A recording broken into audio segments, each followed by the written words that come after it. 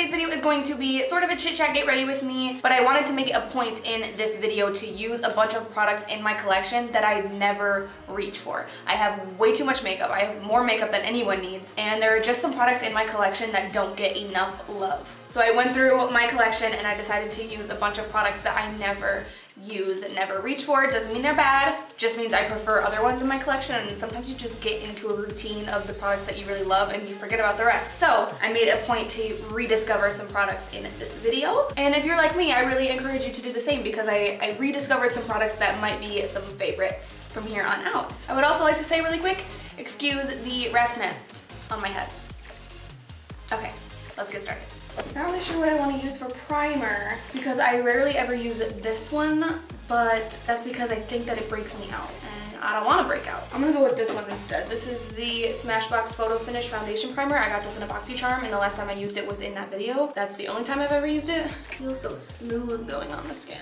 All right, I'm gonna go ahead and spot conceal like I always do. This is not an unused, unloved product in my collection. I use this all the time, which is the Wet n Wild Coverall Cover Stick. This one is in the shade Light. That primer makes this goes on a little bit smoother. Since it's a stick concealer, it's a little bit, you know, rougher and it doesn't glide on as easily as like a cream liquid concealer would. Keep that in mind. So for foundation, I'm gonna go ahead and use this one even though I doubt that it matches me. It is the Maybelline Dream Velvet Soft Matte Hydrating Foundation and it's in the shade 05 Warm Porcelain. I did a first impression sort of wear test video on this foundation and I sort of liked it in that video, but it wasn't my shade. It was way too dark. This one is closer to my shade, but it still doesn't match me perfectly. I'm also gonna use this with a brush because I'm too lazy to go wet my sponge.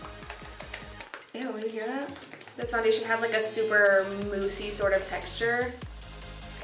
I really like the finish of this. All right, now for concealer, I think I'm gonna mix a few. Yeah, I'm gonna go ahead and use the IT Cosmetics Bye Bye Under Eye, which I rarely use this because it's too dark for my under eye. So I'm going to mix it with the LA Girl Pro Conceal, which I recently got and I used it a bunch, but then I realized that I don't think I like this. I think it makes my under eyes look sort of creepy. Maybe it's the combination of this with my Pro Matte from L'Oreal, or it doesn't agree with my powder or my primer. It just, it could be a bunch of different things, so I'm gonna try it again today. This IT Cosmetics is in the shade Neutral Medium, and that is too dark for me. I switched my setup around, as you can see. I didn't like having to turn around constantly when I was filming to grab stuff out of my drawers, so now my drawers are right here so I can grab them easily. This concealer is looking really heavy, but that's because it's really full coverage and I'm using a dry sponge, so that's probably why. It doesn't look bad. It's not looking crepey yet. All right, I'm gonna go ahead and prime my eyes and set my under eye concealer off of camera and I will be right back. So to set the rest of my face, I'm gonna use my Bare Minerals Matte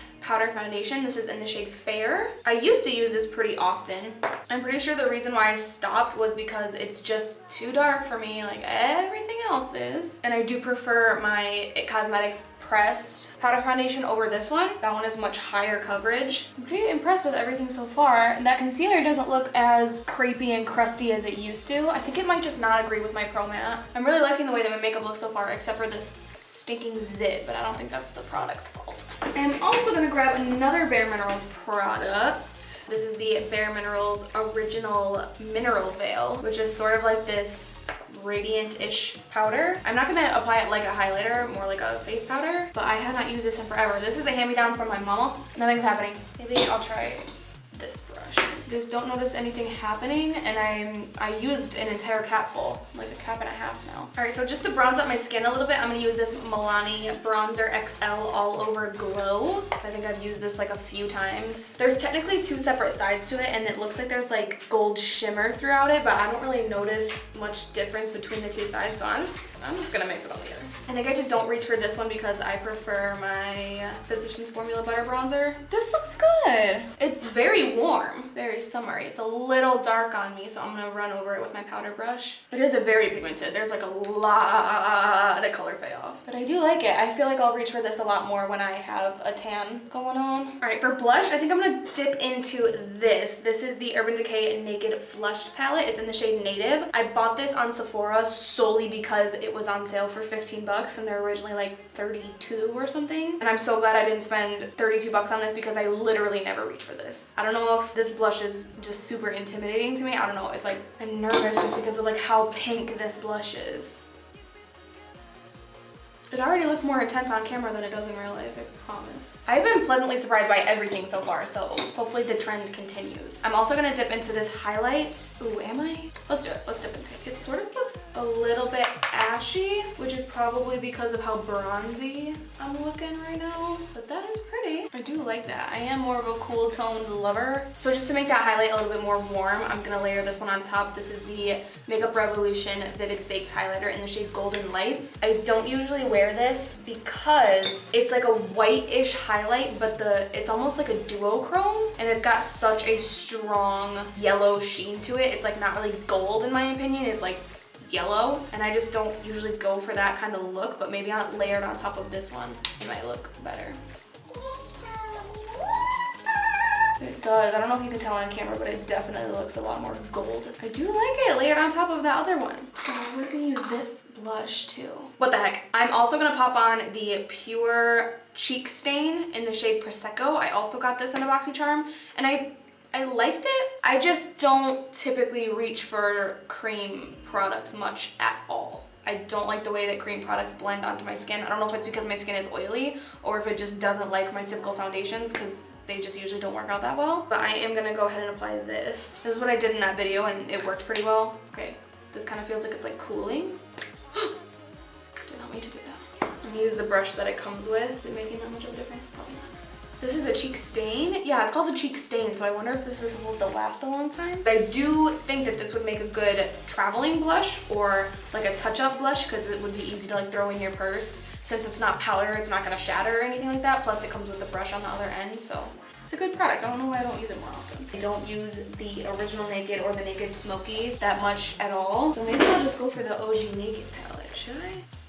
Ah, ah, I just feel like anytime I reach for this palette, I always want to do the same look. I just, I gravitate toward the same shades every single time. So I'm to do something super duper simple. I'm not to go do the whole one eye off camera thing because I'm just to wing it and do something super simple. So I'm to take the shade Naked here, lightly dust it in my crease. One of my least favorite things about the Naked palettes is how badly they transfer from my lid to my like upper crease area. So I am gonna go ahead and take a uh, sort of sticky base and lay it down before I go in with my lid shade. Instead of going for like a white or a black, I think I'm actually gonna do something a little bit more fun. I'm gonna use the NYX Jumbo Eye Pencil in the shade Oyster. It's like a lavendery purple.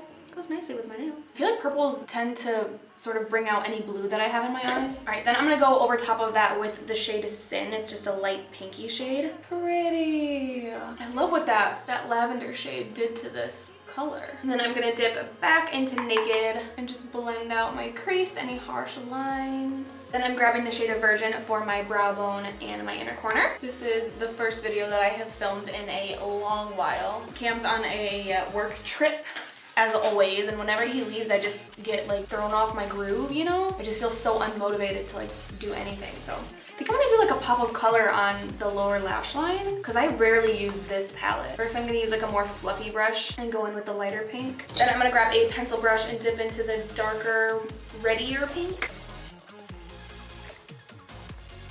I'm also gonna grab that jumbo eye pencil that I used as a base and pop that in my waterline. It's very subtle in the waterline, but I feel like it just sort of opens up my eyes a little bit more. All right, so I'm just gonna grab my Maybelline Master Duo eyeliner. It's in the shade Black Lacquer, and I'm just gonna try and create the thinnest line that I possibly can on my lid. I'm not gonna do a wing or anything. This is just to help the lash band blend into something.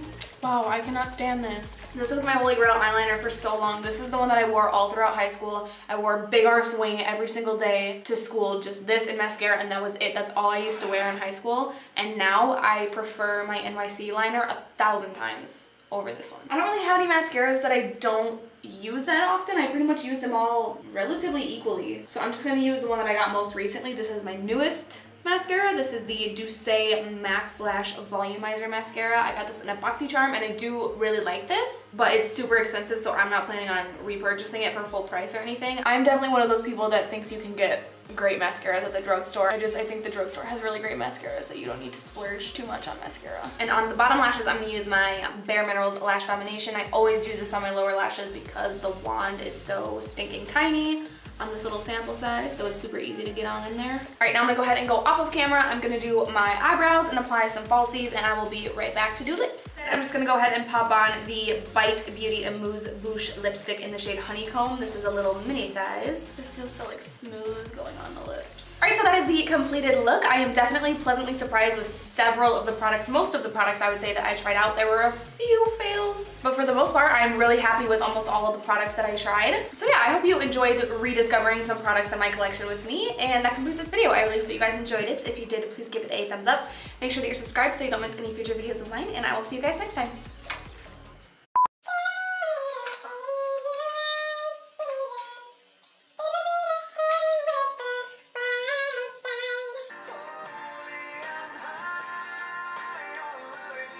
So instead, I'm gonna just go ahead, go ahead, go ahead.